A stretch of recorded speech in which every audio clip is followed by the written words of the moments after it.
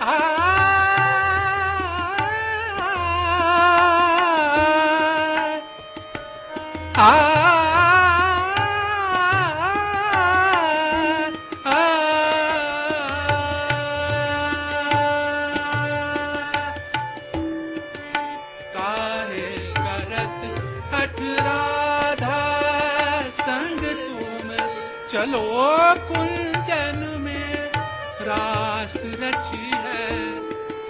चलो कुंजन में रास रची है। चलो कुंजन में रास रची है। तुम बिन हमको कछु नाहे भाए। तुम बिन हमको कछु नाहे भाए। नाहक सब तरसा सब सखिया समझा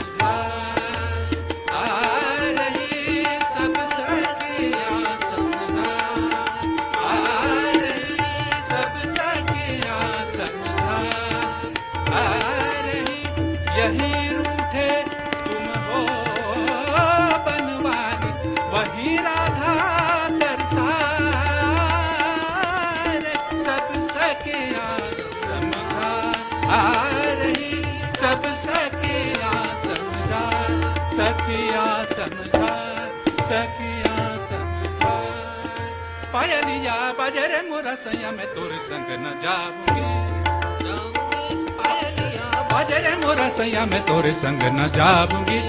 आली मोरी सास ननद और दौरानी चठानिया लोगवा नगर के चर्चा करे मारे टोना पायलिया बजरे मोरा सैया मैं तोरे संग जाऊँगी। तेरी आली मोरी सास ननद और दौरानी चठानिया लोगवा नगर के चर्चा करे मारे टो न पायलिया बजरे मोरा सैया मैं तोरे संग जाऊँगी जाऊँगी। विनोद पिया ऐसी ढीट ढिटाई काहे काहे बरे चोरी कर। कंगनी मुरक गई चूड़ियाँ खिसक गई, सच में कहत पैया पर विनती करत, अब तोरे संग न जाऊँगी एरियाली मोरी सास, ननद और दौरानी चठानिया लोगवा नगर के चर्चा करे, मारे को न पायलिया बाजरे मोरा सैया मैं तोरे संग न जाऊँगी जाऊँगी। पायलिया बाजरे मोरा सैया, मैं तोरे संग न जाऊँगी। एरियाली मोरी सास ननद और तोरानी चठानिया लोगवा नगर के चर्चा करे, मारे टो न पायलिया बाजरे मोरा सैया, मैं तोरे संग न जाऊँगी। जाऊँगी। विनोद पिया ऐसी ढीट ढिटाई काहे काहे बरे चोरी कर। कंगनी मुरक गई चूड़ियाँ खिसक गई, सच में कहत पैया पर। विनती करत, अब तोरे संग न जाऊँगी। आली मोरी सास, ननद और तोरानी चठनिया लोगवा नगर के चर्चा करे, मारे टोन पायलिया बाजे पायलिया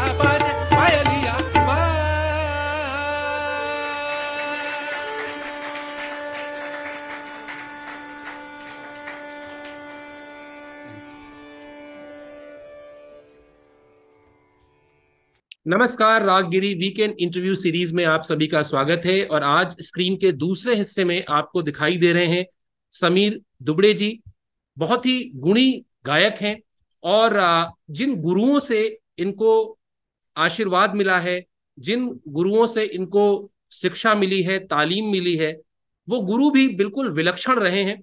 तो इस बातचीत में हम समीर जी के संगीत सफ़र के साथ साथ एक खिड़की खोलेंगे उन गुरुओं को समझने की भी। लेकिन शुरुआत करते हैं पारंपरिक तरीके से। समीर जी बहुत बहुत स्वागत है आपका। नमस्कार नमस्कार जी। तो अ, समीर जी सबसे पहला प्रश्न जो बहुत ही मतलब जिसको कहते हैं जैसे इंग्लिश में एबीसीडी हिंदी में कखा गगा वैसे इंटरव्यू का पहला प्रश्न तो यही होता है हमेशा कि आपका संगीत सफ़र शुरू कैसे हुआ?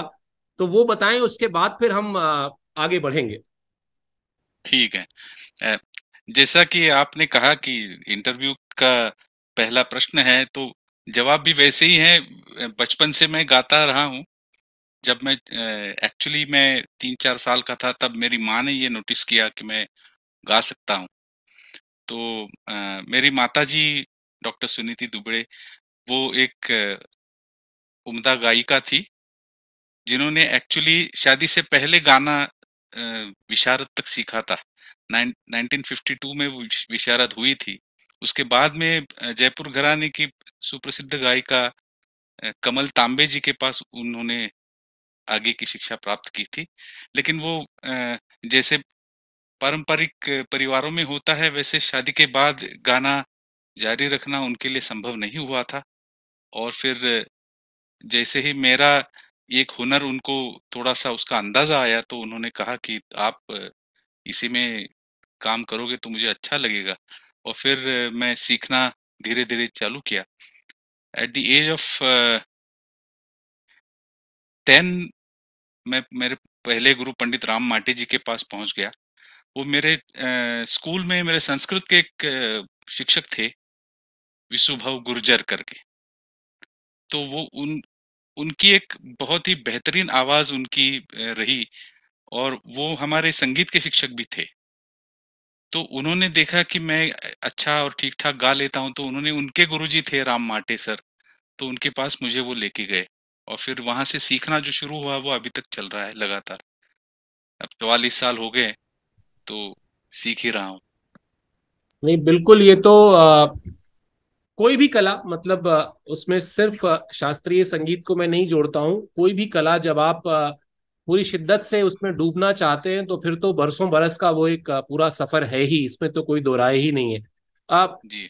समीर जी मैं ये भी समझना चाहूँगा कि माँ के बारे में आपने बताया कि चूँकि वो शादी के बाद परस्यू नहीं कर पाई अपने म्यूज़िक को तो कहीं ना कहीं उनका जो एक एक सपना रहा होगा वो उन्होंने आपकी आँखों से आगे देखना शुरू किया कि एक एक संगीत और मैं तो इसको और दूसरी तरीके से लेता हूँ कि हो सकता है उनकी इच्छा ना भी रही हो कि प्रोफेशनली आप चुनेंगे लेकिन कम से कम संगीत के संस्कार घर में रहें। वो संस्कार बहुत ज़रूरी है।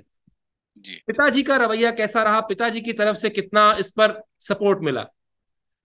देखिए पिताजी मेरे जो थे वो वो भी शिक्षक थे बाय प्रोफेशन लेकिन वो पब्लिशर भी थे। बुक पब्लिकेशन उनका पैशन था।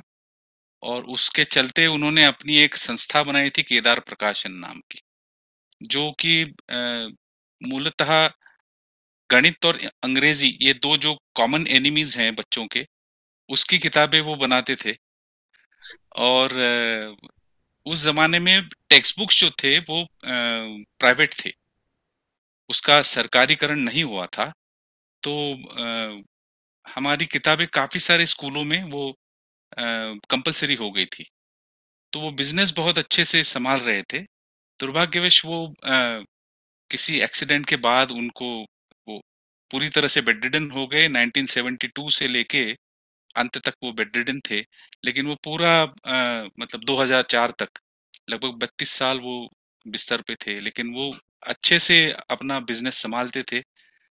उनके मन में मेरे प्रति चिंता यही थी कि तू गाना बजाना सीख रहा है वो तो ठीक है।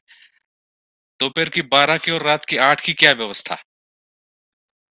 तो मैंने उनको ये जवाब दिया था कि देखिए पिताजी मैं सीख रहा हूँ तो ए, उसकी व्यवस्था भी हो जाएगी। और ईश्वर की कृपा है गुरु गुरु लोगों की कृपा है कि उनके अनुकंपा से मैं अभी तक तो ठीक ठाक खा पी रहा हूँ। मेरा सिर्फ़ नाम ही दुबले है वैसे भरभक्कम हूँ मैं।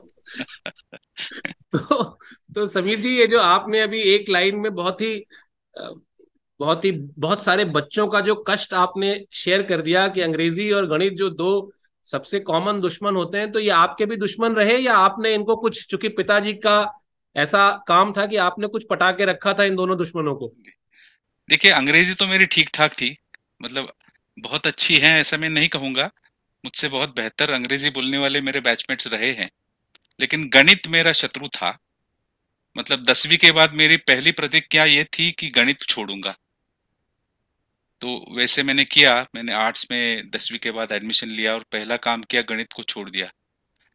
क्योंकि वो साइन कॉस टैन थीटा और ट्रिग्नोमेट्री और पता नहीं दुनिया भर की चीज़ें जो मेरे मेरे लिमिटेड बुद्धि के चलते वो मेरे पल्ले नहीं पड़ती थी। और सुरों का ऐसा लगाव लगने लगा था तब तक कि और कोई चीज़ अच्छी भी नहीं लगती थी। तो इसलिए फिर वो छोड़ दिया मैंने गणित।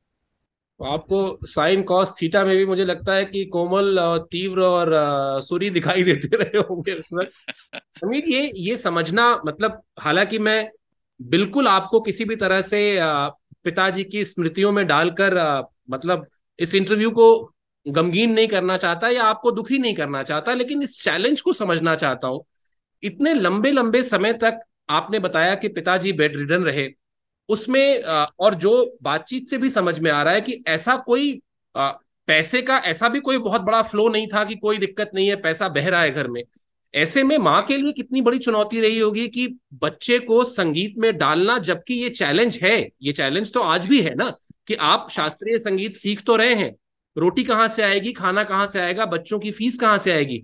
ऐसे में जब माँ ने ये डिसाइड किया होगा आज जब आप अभी कह रहे थे कि मतलब अच्छा ही चल रहा है ईश्वरीय कृपा से सब ईश्वर की कृपा के साथ साथ मुझे लगता है कि माँ की उस संघर्ष माँ की उस चुनौती को हर रोज याद करते होंगे आप? बिल्कुल। मतलब ये तो मैं हर किसी को यही बताता हूँ कि ए, मेरे पिछले जन्मों का कुछ अच्छा कर्म होगा जि, जिसकी वजह से मुझे ऐसे माता पिता मिले। क्योंकि मेरे पिताजी, हालाँकि वो बीमार रहते थे बेडरिडन थे, लेकिन उन्होंने किसी भी तरह से कभी भी हार नहीं मानी। वो जूझते रहे अंत तक। और बहुत ज़बरदस्त आप विपदाएँ देखी, उससे निकल के वो बाहर आए, फिर से खड़े हो गए। तो और माता जी का मेरे जीवन में स्थान यही था कि उन्होंने देखा कि ये लगन से कर रहा है तो उन्होंने कभी उसको लेके मुझे टोका नहीं कि, अरे, तू पैसा कब कमाने लगेगा? घर के हालत तो देखो, वगैरह वगैरह, ऐसी कभी बातें नहीं हुई। ऑन द कॉन्ट्ररी वो यही कहती थी कि तू लगन से रियाज करता रहे। चीज़ें होती जाए, होती रहेंगी। जब आप, जैसा कहते हैं ना कि अगर आप किसी चीज़ को दिल से करो तो पूरी कायनात उसको सही करने में जुट जाती है। तो वैसे ही कुछ हुआ और माता पिता का बहुत आशीर्वाद रहा और जैसे जैसे मैं गाने में धीरे धीरे मेरा काम बढ़ता गया तो पिताजी भी बहुत खुश खुश हुए। उन्होंने भी आ, मुझे ये बोला कि मैं शुरुआत में मेरे मन में ये दुविधा रहती थी कि ये क्या कर रहा है मेरा बच्चा लेकिन बाद में अब अब तो ठीक है तू जो कर रहा है वो सही है लेकिन इसको छोड़ना मत किसी भी हालत में। इसलिए मैं ये भी बोलता हूँ लोगों को कि मैं छोड़ने वालों में से नहीं हूँ। कि कोई बाधा आ जाए, विपदा आ जाए तो गाना छोड़ दे और कुछ काम कर लें, ऐसे मेरे से नहीं होगा। ये जो जिद है, ये जो पैशन है, ये मेरी माता पिता की देन है। नहीं, इसके बाद ईश्वर भी कोई चीज़ है, कोई कोई तो परम शक्ति है ना, समीर भाई की मतलब ऐसा आपको सोचने की मुझे लगता है बिल्कुल ज़रूरत भी नहीं है कि कोई अब ऐसी चुनौती अब आएगी जिससे छोड़ना पड़े। वो जितने इम्तहान होने थे वो सब आ, मेरे ख्याल से निकल गए बचपन में ज़रूर हुए होंगे। पारिवारिक पृष्ठभूमि से पिता की सेहत की वजह से माता जी की चुनौतियों की वजह से। लेकिन फिर जब आ, वो इम्तहान पार हो गए तो फिर अब भगवान और भी लोगों के इम्तहान लेगा सिर्फ़ आप ही का इम्तहान क्यों लेगा? मुझे मुझे ये भी बताइए समीर जी कि जब जब वो भी तो समय आया होगा जब तय किया होगा कि नहीं, अब मेरे अंदर इतना आत्मविश्वास है।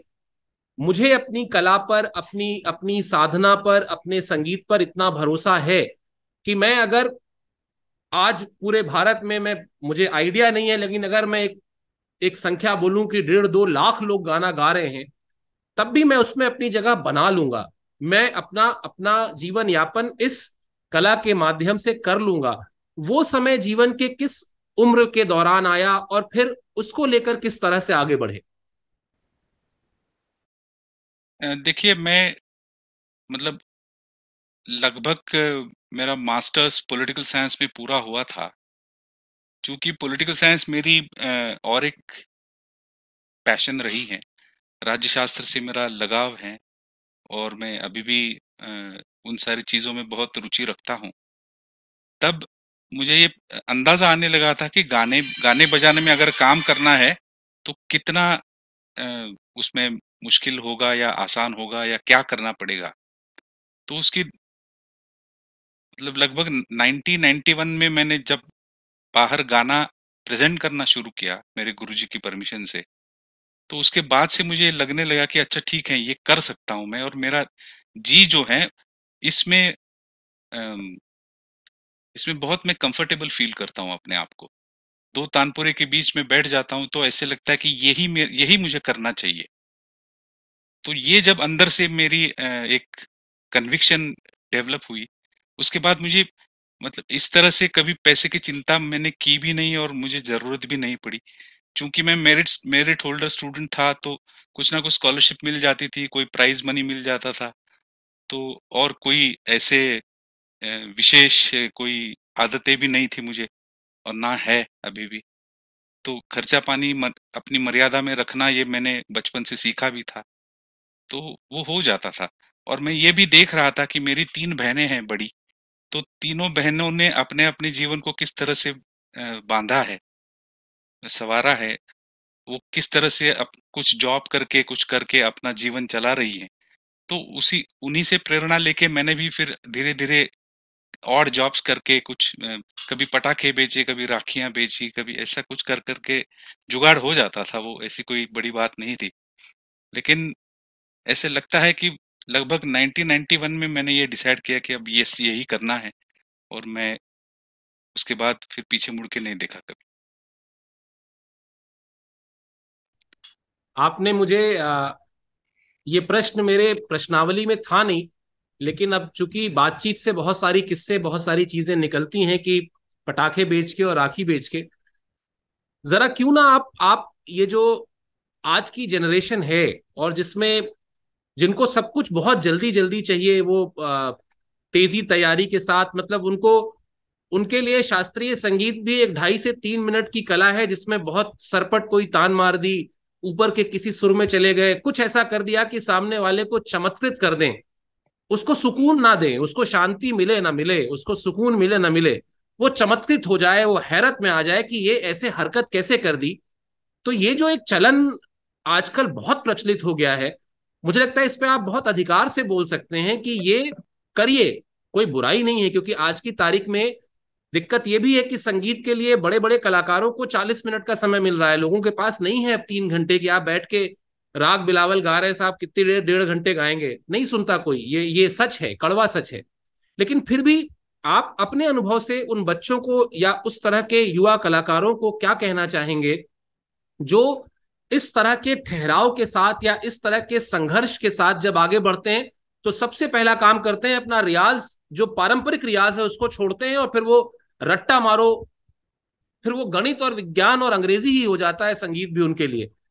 क्या तो आप इससे सहमत हैं? और अगर सहमत हैं तो फिर इसका उपाय क्या होगा आपके नज़र से? सबसे पहले तो मैं ये मानता हूँ कि संगीत ऐसी विधा है, जिसमें मेरे उम्र में आके युवावस्था शुरू होती है।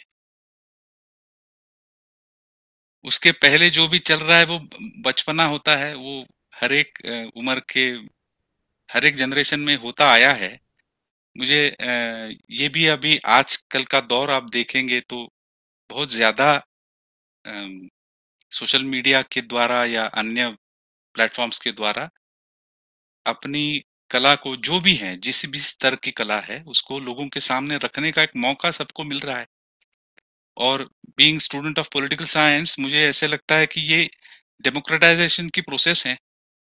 कुछ एक गिने चुने लोगों के हाथ में संगीत की प्रयोग परंपरा, उनकी गिरफ्त में रहना ये भी ठीक नहीं था। नहीं है। तो लोगों को चुनने दीजिए कि ये ठीक गा रहा है, ये ठीक बजा रहा है, ये ठीक बजा रही है, गा रही है। तो उन लोगों को आगे चल के काम मिलने की संभावनाएँ बहुत ज़्यादा बढ़ जाएगी। हैविंग सेड दिस मुझे ये भी लगता है कि गायन की कला में स्पेशली मैं ये मानता हूँ कि उसको जितना समय लगना है वो लगना ही है। उसका कोई शॉर्टकट या उसका कोई टैबलेट नहीं निकला है अभी तक कि आपने एक टैबलेट खा ली तो पंद्रह साल का रियाज आपका हो गया। ऐसी सुविधा अभी तक नहीं है। और भगवान क्या, भगवान की कृपा है कि ऐसा नहीं हुआ है अभी तक। तो उतना समय तो देना पड़ता है। मैं मेरे विद्यार्थियों को ये समझाता हूँ कि देखिए, आप एक दिन उठ के ये नहीं कह सकते कि मैं चालीस साल का हो गया या मैं पचास साल का हो गया। उतने दिन, उतने साल आपको इस पृथ्वी पर बिताने पड़ते हैं, तभी आपको ये कहने का अधिकार है कि मैं चालीस साल का या पचास साल का हो गया हूँ। गाना सीखना ऐसी ही प्रक्रिया है। वो आत्मभान की प्रक्रिया है। खुद के बारे में जानने की प्रक्रिया है। जैसे बच्चे होते हैं तो उनको हम बच्चों का खिलौना बड़े आसानी से बना देते हैं। कोई आया तो कहते हैं, बेटा, आँखें कहाँ है आपकी? बेटा, नाक कहाँ है? बेटा, कान कहाँ है? तो वो बच्चा दिखाता है तो उसका, उसकी वाहवाही होती है, उसके बारे में बहुत प्यार दुलार बच्चे को मिलता है। लेकिन जैसे आप बड़े होने लगते हैं तो आपको बताना नहीं पड़ता कि आपका नाक कहाँ है, कान कहाँ है। जैसे आप आत्मभान आ जाता है, आप खुद के बारे में जागरूक होने लगते हैं, लेकिन उसको समय लगता है ना। तो वो, वही समय गाने गाना सीखने की प्रक्रिया में इन्वॉल्व है। तो कोई ये कहे कि मैं आज सीखने लगा हूँ और छह महीने में मैं पंडित बन जाऊँ तो ये होने वाला नहीं है। ये ये कुदरत के कानून के खिलाफ बात है। तो कुदरत के कानून के खिलाफ तो कोई जा नहीं सकता मानव भी नहीं जा सकता। तो गाने बजाने वाले तो किस झाड़ की पत्ती? तो मैं ये समझाता हूँ कि जल्दबाजी ना करें। गाना बजाना एक रूदारी का काम है। भले लोग 40 मिनट ही आपका सुनेंगे, लेकिन वो सुनेंगे तब उनको ये लगना चाहिए कि ये भीगा हुआ इंसान है। ये जो गा रहा है वो सुर में भीगा हुआ गा रहा है। ये जो गा रहा है वो लय में डूबा हुआ गा रहा है।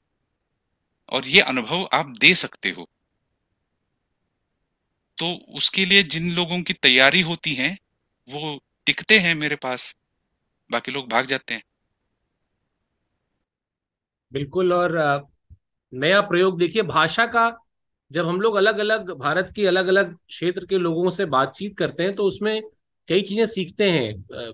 भीगा हुआ शब्द पहली बार मैंने सुना कि सुरों में भीगा हुआ है। डूबा हुआ है तो सुना था लेकिन ये भी प्रयोग मतलब होता है। तो ये एक, एक मेरी भी मेरे भी शब्दकोश में एक समृद्धि हुई आज आपसे बात करके।